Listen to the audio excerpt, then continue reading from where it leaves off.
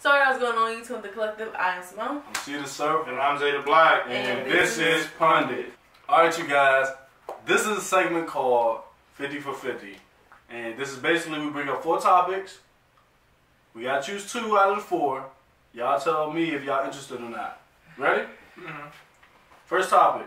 A rapper from DC under the name Young Jose diss Shy Glizzy because he does not visit DC and give back. Interested or not? I'm interested just for the fact that I actually have like a opinion on that. Okay. Okay, well, keep that in mind.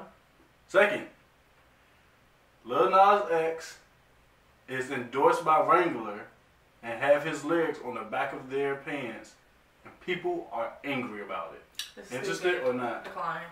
That's a stupid topic. Okay. He said Wrangler on my booty.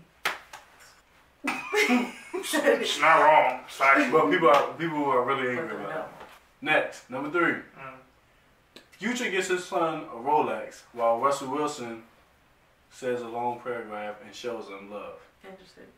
Interested or not? Uh, interested. Number four, Rihanna confirms that she has a new album coming out, but it's based around reggae music. Interested or not? Not interested. Not till the album comes out. Alright, that's two out of four. 50 for 50. So, first topic. Glizzy can't come to the hood. Uh, uh, Richard Mille, bitch, we out here. Mr. Ice Cream Man, Glizzy himself. Hey, hey, who run? Who run 37? Damn, your goofy ass nigga, it's a whole camera right here. Bitch, you right here in the alley. Bitch, you already know ain't shit gonna go down. You was a whore, nigga. And when you ever pull up in the alley, your bitch ass nigga, you pull up. Outside. Friend, you don't even live around the corner no more to come glance at the nephew doing it up. And they told him don't come around no more. He said, fuck that.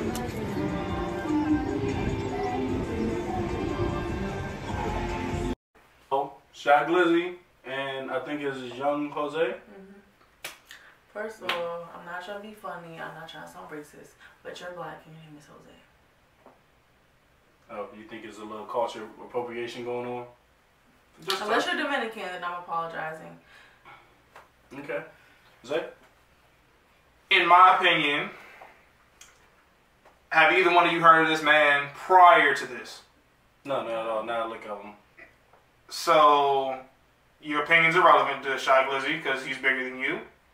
Second of all, it's fair for Shy Glizzy to like not come back because one, he's not that he's not exactly that big of a star yet, and two, we saw what happened to Nipsey. I'm sorry to bring that up, but it's I best agree. for you to get out of here, bro. agree. It's best for you to get out of here.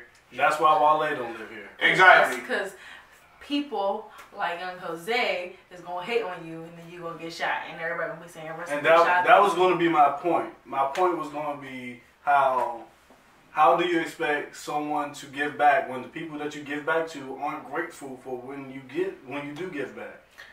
That's why Wale left, that Trel left, Exactly. They don't live here. Rico Nasty left. She's in California. Yeah, I as like, well. she got out of here the minute she signed. So, So I'm pretty sure if that was you, I'm pretty sure you will be gone too. There's, there's nothing. We don't have resentment for it. I don't think DC.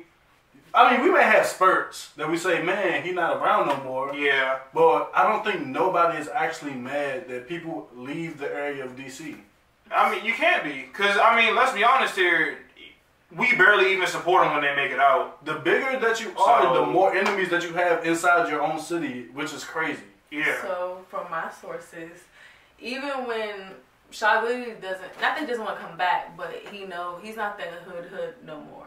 Ever since he moved to Calabasas, Mm. so it's like, yeah, he's still hood because of his music, but it's like, like they said, look what look what happened to Nip. Sorry.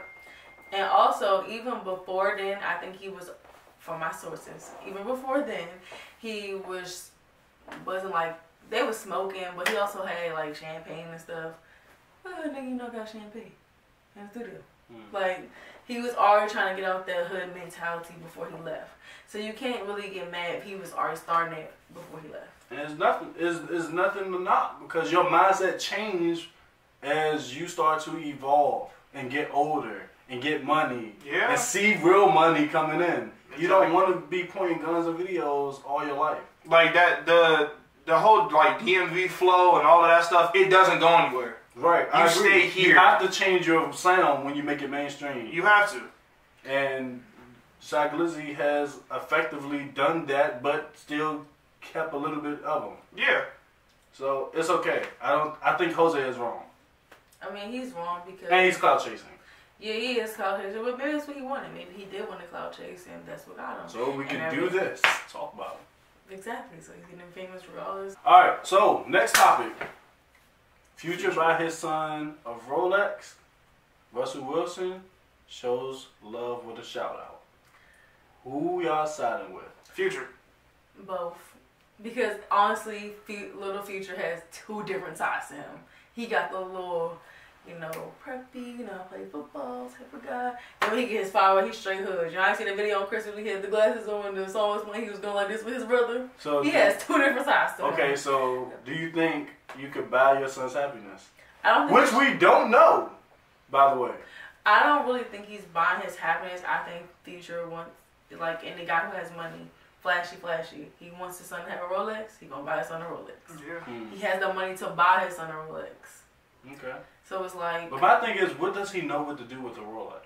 he was going He- like this. Yeah, I was about to say I don't even I don't I even think it's like about the actual like his son flexing. He just wants to show his son, hey, you can have this. Hmm. Cause you Daddy introduce buy you this. yeah, you introduce your kids to like stuff like that at a young age. I mean, that might get them kind of spoiled, but I mean, at the same time, getting a like a, a, a rollie, that's a hood nigga's dream. You know what I mean? He's just trying to show him, hey, you can achieve something, maybe. Or maybe like you know, maybe. But then also, he's gonna grow up as a stand-up guy because he's gonna have two sides to him. He's gonna know when to put his hood away. He's gonna know when to show it. Okay. It's always and um, to me in a male, it's going like a female perspective, probably going a little too deep. But it's also nice. It's I guess with like females like you, how guys like you don't want a hood guy until y'all get the shooting. But that's not what we always mean. We mean like they have the persona and the aura of a hood guy, but also know how to be. Hello, this is Jake. That was so racist. Lord forgive me. And then at the same time, Future did shout out his son on his Instagram story.